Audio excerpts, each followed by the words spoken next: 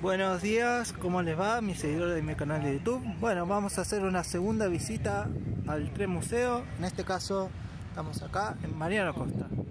Acá podemos ver el 408 Pullman Würzburg, ex Ferro Central. Allá también tenemos el 427 ex Ferro Baires. Primera 1068 ex Ferro Central. Coche OF1 atrás está el 412 ex Ferro Central Pullman Würzburg más atrás el CT 1517 ex Ferro Central.